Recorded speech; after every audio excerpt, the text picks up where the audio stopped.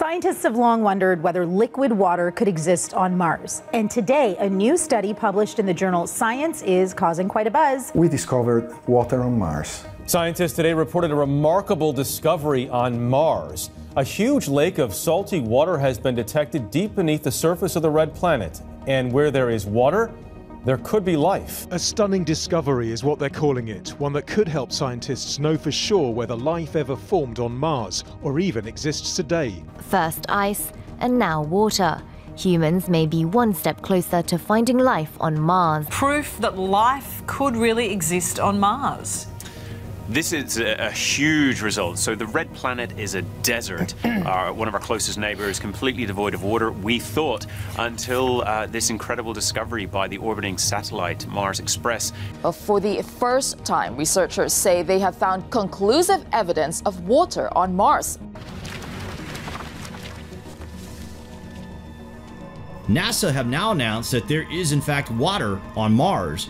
But it is not just a small body of water that they are telling us about here. It just makes you wonder what the hell is going on on Mars. If there is water, there is a chance that there is life. Could a civilization exist on the red planet? You have to wonder. Mars is barren, as we know, on the surface anyway. But what if there is a huge underground system where a civilization is hiding within an ark, awaiting the day the planet becomes non-toxic enough that they can begin to rebuild. It was only 100 years ago, after all, that Nikola Tesla announced that he had intercepted radio signals from Mars. Perhaps this was a distress signal sent when something cataclysmic stripped Mars of its life-giving properties.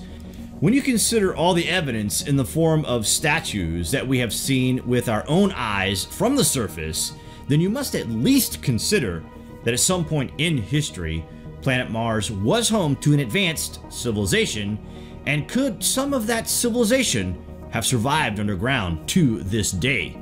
You never know, guys. Anyway, water on Mars. Wait till you hear this. Just a mile or so beneath the surface near the south pole of Mars, there is a reservoir of briny water sloshing and churning below layers of ice and rock. This subglacial lake, discovered by a ground-penetrating radar on the Mars Express spacecraft, is about 12.4 miles wide and perhaps no more than a meter deep. Its discovery is the latest piece of evidence that suggests water was not only present on Mars in the past, but is still flowing in some capacity today. The findings, if confirmed by future observations, would be the most significant discovery of liquid water on Mars to date. Scientists already had little doubt that there was, at one point, liquid water on Mars, thanks to tiny spherical deposits discovered by the Opportunity rover in 2004 and the comprehensive mineralogy studies conducted by the Curiosity rover. The evidence suggests that vast lakes and rivers dominated the surface of Mars billions of years ago. What's more, tantalizing clues have continued to imply the existence of liquid water on Mars today. Condensation was measured on the Phoenix lander in 2009 and dark streaks spotted on Martian dunes may be evidence of briny water, although more recent examinations suggest they could be avalanches of dry sand.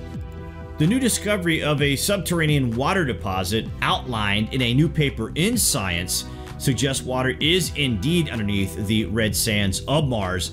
Perhaps the red planet even has entire subsurface lake systems like those beneath Antarctica. Today, the most obvious signs that Mars was once a wet world are the ancient waterways that sculpted the planet's surface many millions of years ago. In 2015, NASA announced that it had spotted water seeping down slopes and gullies on the planet. The temperatures that they think are present here are far below zero, so given the spoon-fed information we get, it is hard to imagine life here. But microbes could have adapted or something on this place. When we finally go to Mars, perhaps we will find massive ruins and remnants of a lost civilization. Perhaps many. So that being said, it makes one wonder about the possibility of life, or even the frozen evidence that life once thrived on the fourth world from the sun. What do you guys think of this recent announcement? Is it worth commenting on? If so, let us know below.